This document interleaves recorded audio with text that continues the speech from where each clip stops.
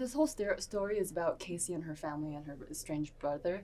And so, what really drawn me to it was, first of all, family, because family to me personally is everything. I'm an only child, and so I love my parents dearly, and they're immigrant parents. And through the story, you really see that that that that breakthrough of the fact that your parents are immigrant parents, but there's dreams that are lost. There's communication that's not able to happen between brother and sister relationship, and so through this whole movie, also, it really does show that you know you don't have to be uh, the same skin color to understand what Casey's going through. I don't have to be Korean to know what Casey's going through.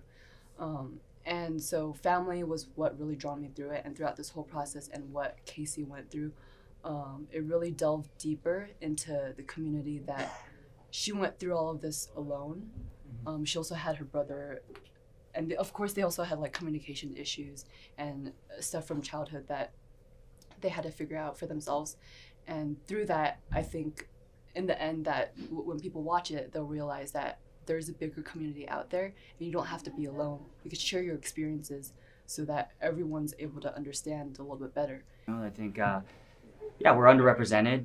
Um, so I think we need more storytellers, more producers, more writers. And it's my job as a director to curate new talent for my community, uh, which is why, you know, all these three wonderful actors, um, you know, they deserve to be seen, they deserve to be noticed. And there's so much you know and i think there's this thing in hollywood until recent where they said oh yeah we we, we tried to cast asian but we couldn't find anyone. It's fucking bullshit you know like you guys just didn't look hard enough.